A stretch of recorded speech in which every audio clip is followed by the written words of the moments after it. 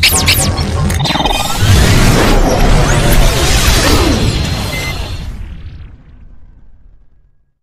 you know? Here is the video about top 10 richest brands and their Ionic company logos. When you hear the names of big companies like Apple, Google, or Microsoft, you imagine specific images. You can easily draw or at least describe company logos in great detail. Each of them have its own story. So let's take a look at these logos. Apple. Apple first logo in 1976 looked nothing like the logo we know today. Between 1977 to 1998, Apple often used rainbow colored design to coincide with their first color display computer. Google.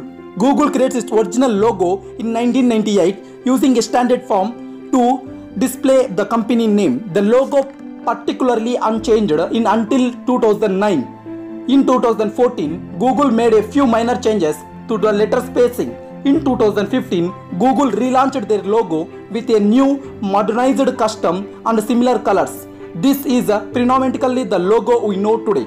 FedEx. The original FedEx logo was born in 1973, a plain blue watermark on the patterned blue background. Over the years, the colors and the types have space and few changes. But in 1994, the company introduced the logo we know today, with the ionic white arrow visible between the second E and the X. LG. LG founded in 1958 has Gold Star Electronics. The LG we all know rebranded in 1995 with an original logo and the slogan Life's Good. In 2011, the logo received a glossy TD effect which the company uses today. Toyota. Toyota actually began its uh, historical Toyota named after the, its company. Founder in 1936, the company ran a public competition to design a new logo and rebranded as Toyota. Merchants Bench. Most of course companies change their logos, time, even evolve the design trends, but a few logo managed to stay original and significant for over century. In the Mercedes-Benz, the company introduced the star in 1909 and still it is in a central element of their logo to this day. Shell.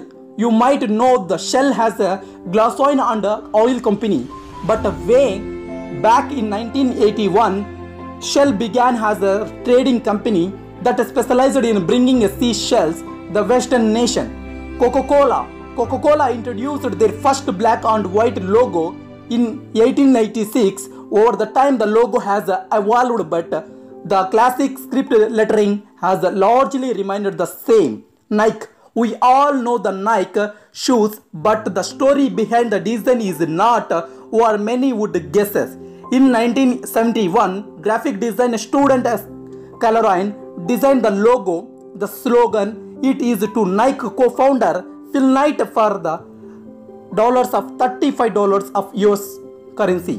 Target.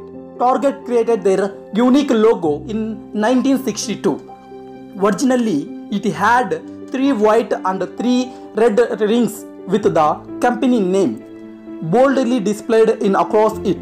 Just seven years later, the company launched a few famous and the features of a woman wearing Target logo has a earring.